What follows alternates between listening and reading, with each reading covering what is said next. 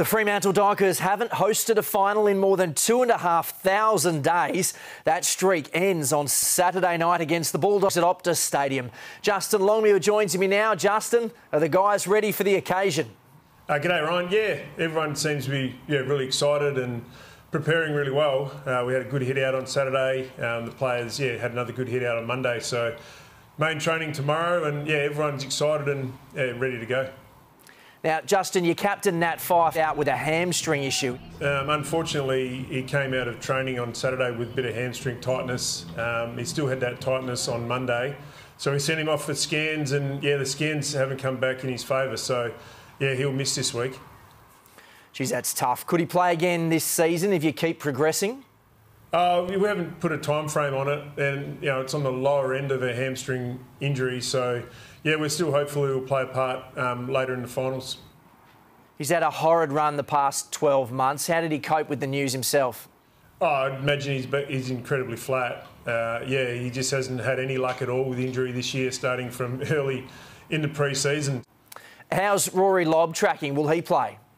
Yeah, he'll, he'll play. Uh, he's had a good week on, on the track. Uh, he's recovered really well, and that week off seems to have done him um, the world of good. So, yeah, we're confident he'll get through main training tomorrow and front up on Saturday. That's great news. What about Griffin Logue? He seems to have trained well. Will he return?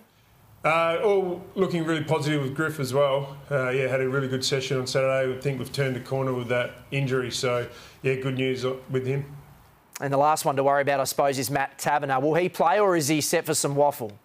Uh, he's probably a bit more touch and go than the others. Um, we've really got to get through training tomorrow and see how he pulls up before we make a call on his, um, yeah, where he plays this week. Um, so won't go too early on that, um, and we'll leave it to after training tomorrow. You're concerned that the injury issues you have had with Lobb and Logue and Taberner, they're all sort of in that one area up forward. Can you play three, three of those guys and feel confident?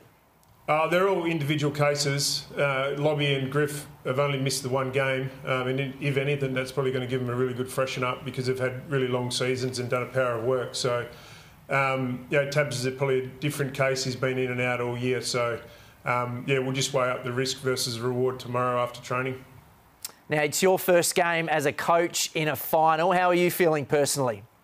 I'm just really excited um, and really proud of the work the players have done this year and, you know, earned our way into finals and, you know, really just really focused on preparing the players and giving them the best opportunity to perform on Saturday night um, on, you know, what's going to be a big occasion for the club. The Bulldogs on Saturday night, Justin. Everything on the line. Good luck. Thanks, Ryan.